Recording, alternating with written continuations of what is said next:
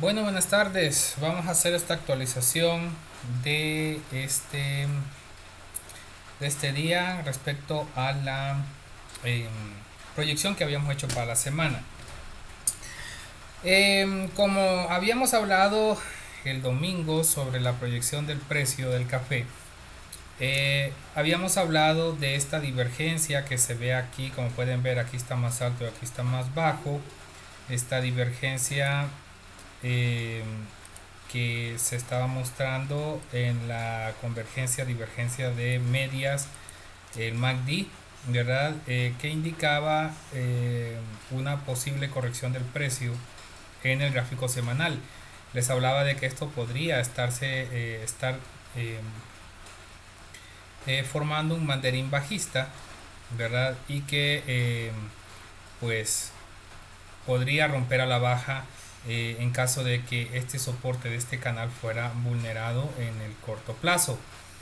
Em, y que eh, era bastante seguro, les, yo les había dado un 68% de probabilidades de que el precio rompiera la baja eh, por esta información que vemos acá.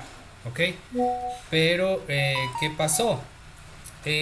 lo que pasó es que justamente el lunes que no hubo mercado, este señor de aquí, el real, se fortalecía un 1% ante el dólar. Y dentro del cálculo de probabilidades que nosotros eh, hacemos para calcular si el precio va a subir o bajar en el corto o mediano plazo en el café, la fortaleza del real tiene un peso bastante grande. Entonces, al fortalecerse el real, nuestro cálculo eh, básicamente le daba vuelta a esa probabilidad y eh, por eso eh, hice el comunicado al final del lunes que la probabilidad se cambiaba, que era mayor la probabilidad de que el, el café rebotara al alza debido a, este a esta fortaleza del, del real que se daba el día lunes. Entonces em, intentamos ver si podíamos ajustar esa proyección y em, dado de que con el peso que tiene la fortaleza real dentro de nuestro cálculo de probabilidad, eh, podríamos tener un rebote en el precio.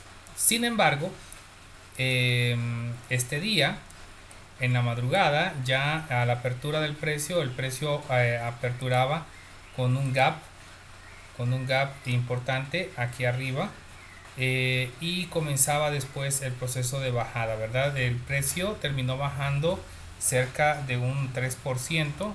Vamos a ver, creo que fue un 3%. Ah, sí, cerca de un 3%.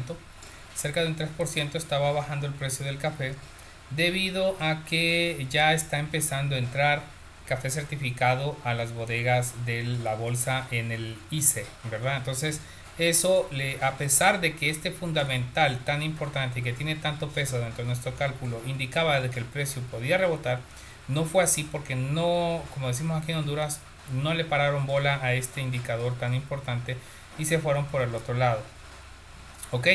Entonces, eh, a pesar de eso, la proyección que teníamos de un posible rompimiento en el gráfico diario de este de este soporte y eh, una posible caída en el precio se dio a pesar de ese ruido que eh, se generó con el incremento del valor del real ante el dólar, ¿verdad?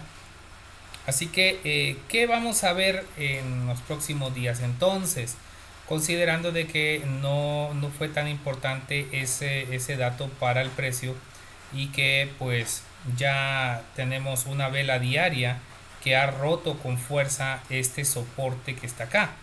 Entonces la meta ahora, eh, la meta que estaríamos viendo está en este sector de aquí, en, el nivel de 169, 168, eh, que es lo que les había mencionado, que es donde está el nivel de Fibonacci, ¿verdad? El nivel de 23% de Fibonacci en, en, en el corto plazo. Así que Considerando la situación actual, el precio podría buscar ese, ese nivel en el corto plazo. Así que siempre y cuando el precio esté aquí arriba deberían de ir buscando eh, pues colocar algunas ventas porque es bastante probable ahora que el precio llegue aquí hasta 169 en el caso del café este, vamos siempre a estar muy atentos a cómo se desarrolla el real a cómo se desarrolla el mercado. Recuerden que estos días testifica Jerome Powell eh, ante el Senado. Entonces eso va a generar bastante volatilidad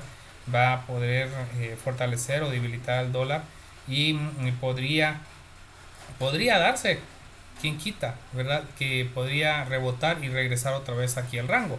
Pero esta vela esta vela em, viéndolo en el gráfico diario indica continuación de esta caída hasta este nivel de 168 verdad entonces tengan eso muy en cuenta por favor Em, vamos a seguir actualizando a los miembros. Siempre estén atentos a lo que les estén, estoy enviando diariamente para que podamos ir ajustando esas cuestiones. Pero al final la proyección se cumple, eh, la proyección bajista se cumple a pesar de ese ruido que metió el Real el día de hoy y que pues no le pararon bola. Así que seguimos con esta meta en 169 en el corto plazo para el café.